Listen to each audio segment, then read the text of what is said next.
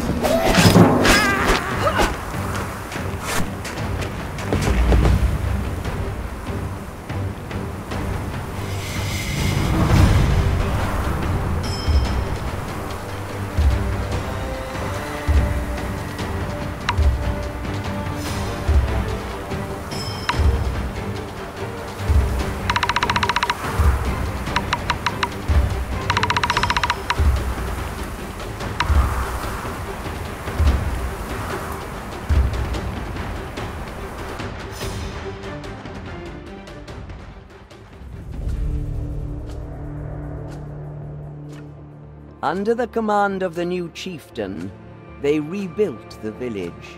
First, they rebuilt the altars, where the clan could dedicate the blood they had spilled to the gods and goddesses of Asgard and earn their favor. Nearby, a tent to house the Skald, who would salve their wounds and write poems of their glorious victories.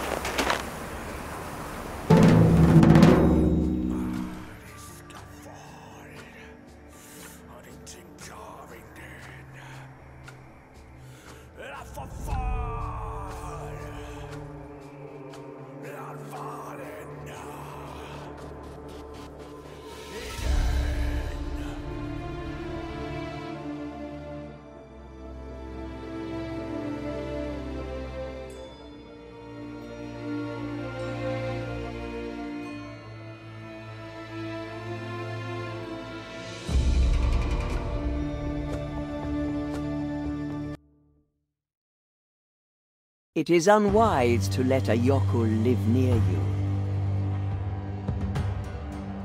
The old chieftain thought it best to leave a frost spirit for the summer hunts.